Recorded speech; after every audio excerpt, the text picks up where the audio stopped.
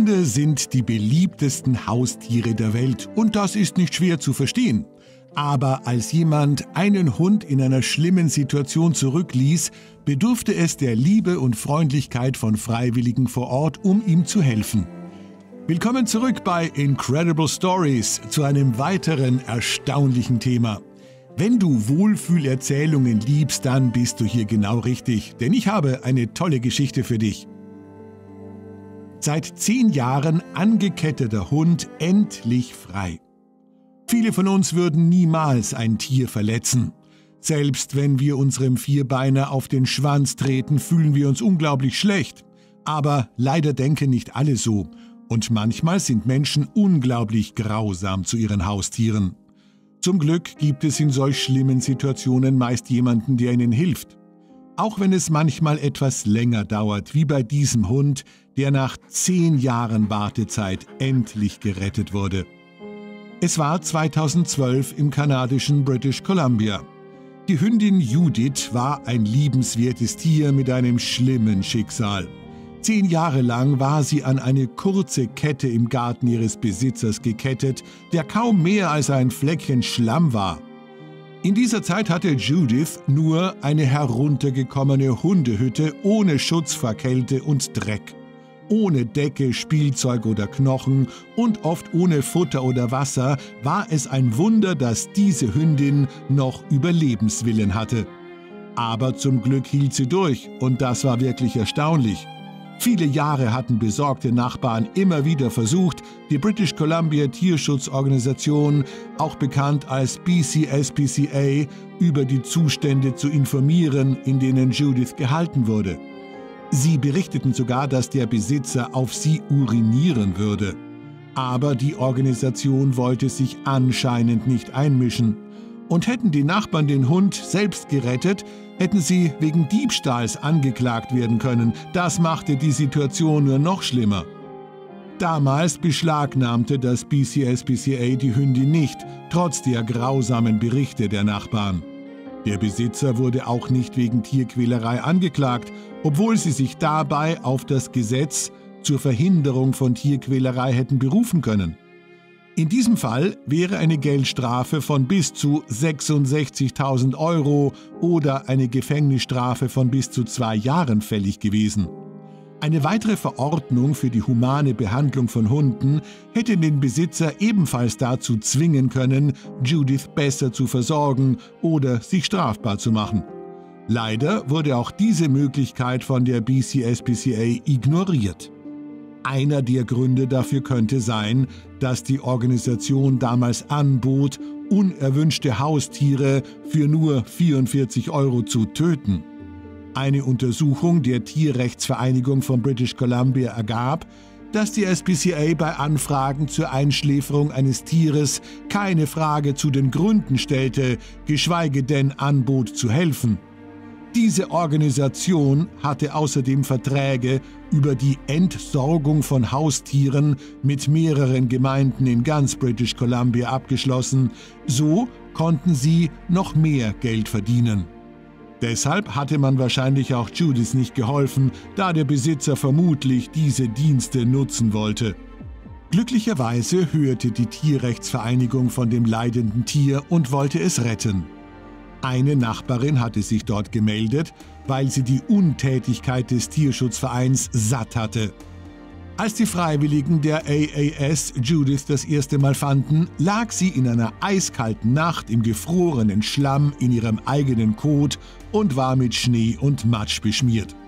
Verärgert darüber wussten sie, dass sie die Hündin nicht länger allein lassen konnten, deshalb dokumentierten sie aus rechtlichen Gründen das Elend. Einen Tag bevor sie eingeschläfert werden sollte, retteten Freiwillige sie aus ihrer entsetzlichen Lage. Es war der Start in ein neues Leben für Judith, auf den sie fast ihr ganzes Leben gewartet hatte, und sie war glücklich. Um den Beginn ihres neuen Lebens zu markieren, benannte die AAS sie kurzerhand von ihrem ursprünglichen Namen Judas in Judith um.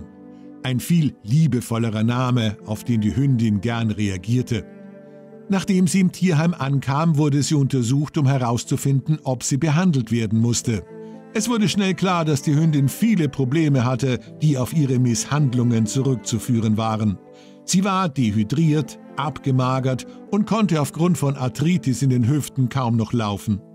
Darüber hinaus war ihr schwabbeliges Fell mit Schlamm und Kotklumpern übersät und verfilzt, was es dem Tier schwer machte, sich zu bewegen. Freiwillige Helfer rasierten schließlich ihr Hinterteil, da das Fell zu verfilzt war, um es richtig zu reinigen. Aber das schien Judith nicht zu stören, sie genoss die lange vermisste Zuwendung. Nachdem das Fell entfernt worden war, verbesserte sich das Verhalten der Hündin sichtlich. Sie wedelte sogar wieder mit dem Schwanz. Wie oft sie kein Futter bekommen hatte, sah man den Knochen an, die unter der Haut deutlich sichtbar waren. Nachdem sie enthaart war, bekam sie ihr erstes Bad, vielleicht sogar das erste überhaupt um den restlichen Schmutz zu entfernen. Sie war zwar kein großer Fan von Wasser und Seife, aber sie liebte es, wenn man sich um sie kümmerte. Nachdem sie etwas an Gewicht zugelegt hatte, wurde sie zur Adoption freigegeben und es dauerte nicht lange, bis sie ihr neues Zuhause fand. Das Ehepaar Mike und Alyssa waren auf der Suche nach einem neuen Hund und hatten das Tierheim besucht, um einem geretteten Vierbeiner etwas Liebe zu schenken. Hier lernten sie Judith kennen und es war Liebe auf den ersten Blick. Zum ersten Mal in ihren zehn Lebensjahren konnte sie Liebe und Fürsorge spüren. Aufgrund ihrer Hüftgelenksdysplasie und Arthritis konnte sich die Hündin nur auf ihren Vorderbeinen bewegen und zog ihre Hinterbeine hinter sich her. Da besorgten ihr Mike und Alyssa einen Wagen, den sie an ihre Hinterbeine schnallen konnten, damit sie sich freier bewegen kann und die Hündin hätte nicht dankbarer sein können. Um ihrem neuen Fellfreund viele schöne Erinnerungen zu schenken und um die verlorene Zeit wieder aufzuholen, nahm das Paar sie überall mit hin. Dazu gehörten auch Campingausflüge und die Fahrt zu einer Hütte am See. Auch der Wagen bremste sie nicht und sie konnte endlich Spaß haben, Eichhörnchen jagen und die freie Natur erleben. All die neuen und aufregenden Orte waren ein großer Unterschied zu dem winzigen Fleckchen Schlamm, auf dem sie die meiste Zeit ihres Lebens verbringen musste.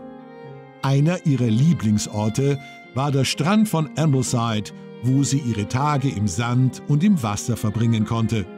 Im weichen Sand brauchte Judith den Wagen nicht und konnte mit anderen Hunden herumtollen.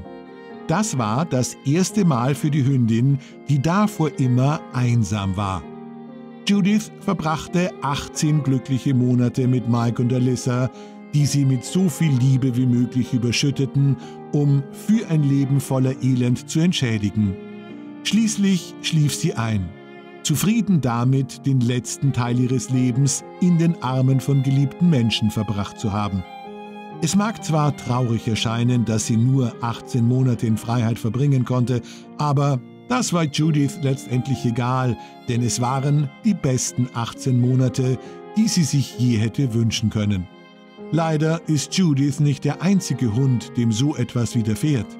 Überall auf der Welt gibt es vernachlässigte Tiere, die eine helfende Hand brauchen, damit sie ein Zuhause bei liebenden Menschen finden.